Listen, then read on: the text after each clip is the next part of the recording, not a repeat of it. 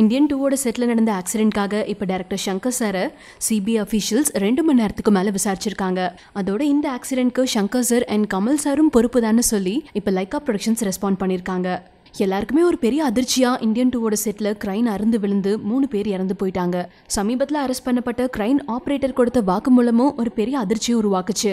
இந்த ஆக்சிடென்ட்க்கு அப்புறமா Kamal sir Lyca ப்ரொடக்ஷன்ஸுக்கு ஒரு லெட்டர் எழுதினார்ல படத்தோட ஹீரோல இருந்து அந்த படத்துக்காக ஒர்க் பண்ற கடைசி எம்ப்ளாயி வரைக்கும் அவங்களோட சேஃப்டியை ப்ரொடக்ஷன் ஹவுஸ் உறுதிப்படுத்தணும். ஷூட்டிங் ஸ்பாட்ல ஒரு ஆக்சிடென்ட் நடந்தா அதுக்கு ப்ரொடக்ஷன் ஹவுஸ் தான் பொறுப்பு அப்படின்னு கமல் சார் எழுதின லெட்டருக்கு இப்போ லைக்கா ப்ரொடக்ஷன்ஸ் கமல் சாரும் சங்கர் சாரும் அதுக்கு பொறுப்பு தான் அப்படின்னு ரிப்ளை பண்ணியிருக்காங்க கமல் சார் உங்களோட லெட்டர் எங்களுக்கு கிடைச்சது.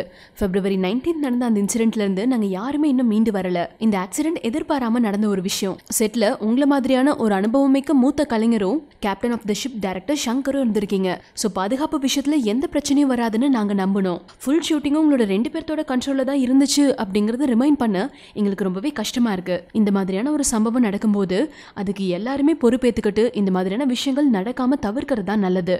இவ்வளோ இன்வெஸ்ட் பண்ணி நாங்கள் ஒரு படம் பண்ணுறோம் அப்படிங்கும்போது போது சேஃப்டி விஷயங்கள்லையும் நாங்கள் எந்த அளவுக்கு அக்கறையாக இருந்திருப்போம்? அப்படிங்கிறது உங்களுக்கு தெரியும் நாங்கள் நினச்சோம்.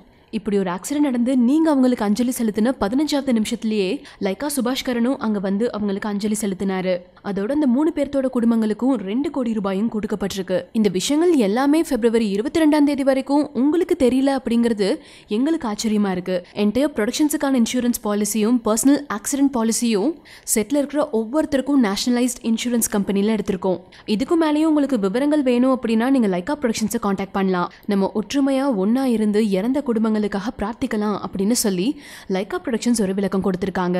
ஒரு செட்ல எதிர்பாராத இப்படி ஒரு விஷயங்கள் நடக்கும்போது நீ தப்பு நான் தப்புன்னு மாறி மாறி குத்தம் சொல்லாம இனிமே இந்த மாதிரியான ஒரு ஆக்சிடென்ட் நடக்காம இருக்க ஒவ்வொருத்தரும் என்ன பண்ணணும் அவங்களுக்கு என்ன விஷயத்த புரிய வைக்கணும் என்ன சேஃப்டி மெஷர்ஸ் பண்ணணும் அப்படிங்கிறத பத்தி டிஸ்கஸ் பண்ணா இந்த மாதிரியான விஷயங்களை தவிர்க்கலாம்.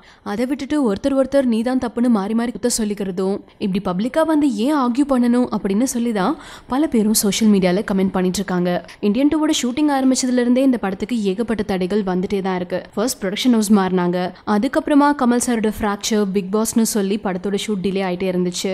அண்ட் இப்போ இந்த இன்சிடென்ட் அதுக்கப்புறமா கமல் சாரும் லைக்கா ப்ரொடக்ஷன்ஸும் மாறி மாறி ஆகியூ பண்ணிக்கிறத பார்க்கும்போது இதுக்கு மேலே இந்தியன் டூ கண்டினியூ ஆகுமா அப்படிங்கிற மாதிரியான டிஸ்கஷனும் இப்போ கோலிவுட் பக்கம் போயிட்டு இருக்கு.